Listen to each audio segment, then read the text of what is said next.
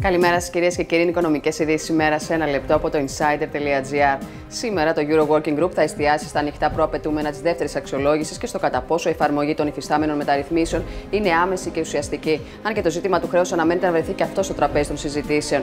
Μετά τη χθεσινή δήλωση της Κριστίν Λαγκάρντ πως το Διεθνές Νομισματικό Ταμείο είναι πρόθυμο να συμμετάσχει στο ελληνικό πρόγραμμα χωρίς χρηματοδότηση, ώστε να δώσει στους Ευρωπαίους πιστωτές περισσότερο χρόνο για να διευθετήσουν το θέμα της ελάφρυνσης του χρέους, το τοπίο εν ώψη και του Eurogroup της 15η Ιουνίου έχει πλέον ξεκαθαρίσει σε μεγάλο βαθμό.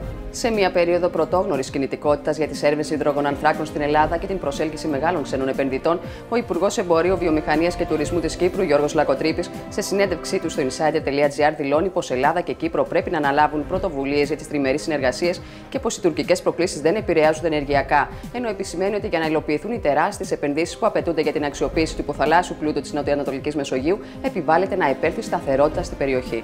Στο στόχαστρο του Κέντρου Ίσπραξη Ασφαλιστικών Οφειλών θα βρεθούν μετά το καλοκαίρι δεκάδες χιλιάδες μικροφιλέτες με χρέη προς τα ασφαλιστικά ταμεία κάτω των 5.000 ευρώ. Σύμφωνα με πληροφορίες, η ηγεσία του Υπουργείου Εργασίας έχει σχεδόν έτοιμη τη νέα ευνοϊκή ρύθμιση οφειλών από 3.000 έως 20.000 ευρώ, η οποία πρόκειται να ανακοινωθεί στο τέλος του μήνα και να λειτουργήσει στην κοινή ηλεκτρονική πλατφόρμα με τον εξοδικαστικό συμβιβασμό. Προπόθεση για την ένταξη στη ρύθμιση που περιλαμβάνει κούρεμα τόκων και προσαυξήσεων από 35 έως και 85% είναι η συνέπεια των οφειλετών με τις τρέχουσες υποχρεώσεις τους. Ανωδικά κινείται η χρηματιστηριακή αγορά στο σημερινό άνοιγμα της συνεδρίας με το γενικό δίκτυο μόνο και με 786,57 μονάδες, καταγράφοντας κέρδη 0,60%.